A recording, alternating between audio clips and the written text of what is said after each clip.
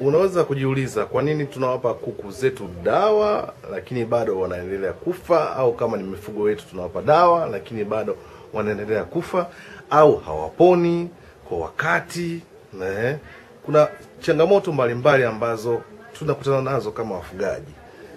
Nikasema na hii pia niweze kumegea kidogo kwa wewe mfugaji wa kuku au wa bata au wa kanga au mifugo mingine inaopelekea wetu wasiweze au mifugo yetu isiweze kupona kwa wakati, na wakati dawa pia tunawapa.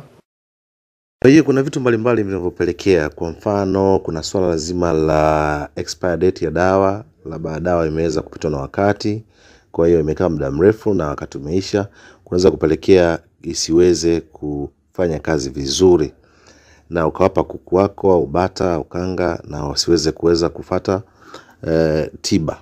Lakini vile vile pia kuna vitu vingine hapa. Kuna swala lingine ambazo kapelekea hilo ni pamoja na jinsi ya kuweza kuwapa dozi ile. Unaweza kuwa umeambiwa labda e, mara tatu kwa siku ukawapa mara moja, au ukawaambia uwape siku tano au saba, wewe ukaweza kuwapa siku, siku mbili ukaacha, kuweza kupelekea dawa pia siweze kufanya kazi vizuri na hatimaye magonjwa yakaendelea. Hiyo ni sababu nyingine. Kuna sababu nyingine labda ni kuweka kiwango sahihi, labda umeambiwa weka vijiko viwili kwenye kiasi kadhaa au wape matone kadhaa kwa kiwango hiki, kiwango kile ukaenda tofauti ukaongeza zaidi au kupunguza mm, kunaweza kupelekea uh, kuweza kuleta madhara pia. Kuna kuwapa kwa, kwa, kwa, kwa unaweza kuwapa sasa hivi kwa mfano ukakaa baada ikakaa zile dawa hata siku tatu siku nne na hawajaimaliza ile inaweza kapelekea pia kuweza dozi ile siweze kufanya kazi vizuri, kwa sababu dawa huwa ni masaa ishirini na nne. Kuna sababu mbalimbali eh, msikilizaji wa Yagomba TV, usahau kusubscribe kupitia YouTube channel utaji kujifunza vitu mbalimbali.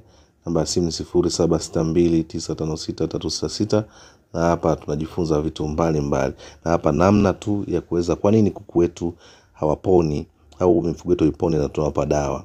Kuna sababu mbalimbali, kwa mfano mambo ya chanjo. Kuna chanjo ambazo huwa zinahitaji kuweza kuweka kwenye storage. Nazungumzia hapa uhifadhi wa dawa husika. Unaweza kununua dawa na iko nzima, lakini uhifadhi ule ukawa ni uhifadhi mbovu. Nimesema kwa mfano kama chanjo, chanjo huwa kuna kiwango maalum wa kuweza kuweka, kuna storage yake. Kuna, kuna kwa mfano kwenye friji ambao kwa kawaida huwa chini negative 10, chini ya negative kumi, yani ule ubaridi ule. Kwa hiyo kama umeweka kwenye sehemu ambayo sio, inaweza kapelekea kuweza kuua nguvu ya dawa na ukawapa mfugo wako na asiweze kupona. Kwa kuna sababu mbalimbali ambazo zinaweza kupelekea dawa isiweze kufanya kazi. Eh, endelea kuangalia Yagomba TV, usahau kusubscribe kupitia YouTube channel, lakini shughulikia baadhi ya vitu ambavyo naweza kuzungumza, viko vya aina mbalimbali hapa.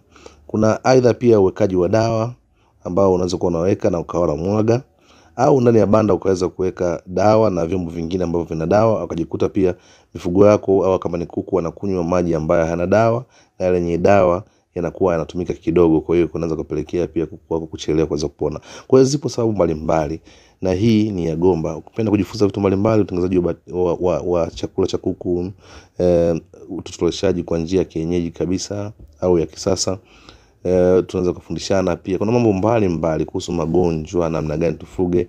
sifuri saba sita mbili tisa tano sita tatu sita sita na hii hapa ni Yagomba T. Epukana matapeli. Unaweza kujiuliza kwa